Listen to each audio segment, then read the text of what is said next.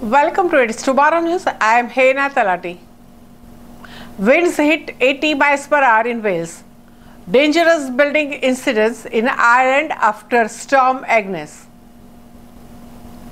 Storm Agnes has made landfall with 80 miles per hour gusts, downing power lines and causing flooding. Trees have been toppled, and in one Irish town, a roof was ripped from the building. But the forecasters have warned the worst is still to come, with weather warnings in place across much of the United Kingdom. Winds battering the north of the country are potentially very dangerous, said the chief north of the England correspondent. The local lifeboat station has closed as gusts are expected to hit 850 miles per hour, he said, and there are several hours more disruption expected in the United Kingdom. There was a sense really that the intensification of the storm before it hit Ireland meant that it had lost some of its power by the time it made its way across Wales and now across England as well.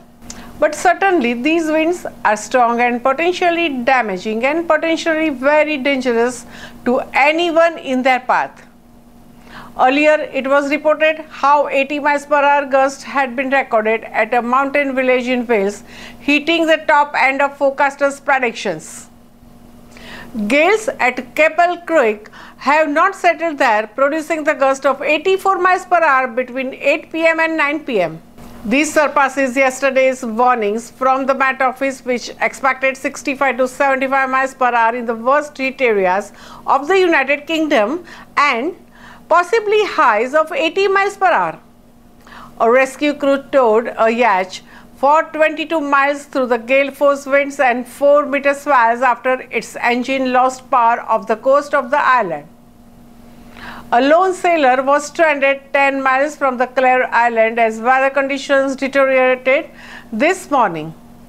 The Northern Ireland Fire and Rescue Service found a car in the river Moyola in the deepest town with the drive trapped inside. Storm Agnes is the first named storm of the season. It arrived in the Northern Ireland around lunchtime and has caused disruption to some flights, some ferries, and to power lines. Almost 300 customers across the Northern Ireland, including points Pass in the county Armagh, are still without power due to the severe weather. The Met Office and the Met Éireann had both issued weather warnings and had advised of the possibility of the disruption to travel. The NIFRS attended the scene of the trapped vehicles at about 14:30 BST on Wednesday. The conditions changed very quickly and the firefighter on the roof of the car had to take decisive action to save the occupant. The firefighter broke the rear window and brought the driver out of the car and onto the roof. In the Republic of Ireland, strong winds toppled several trees in the Cork and Dublin.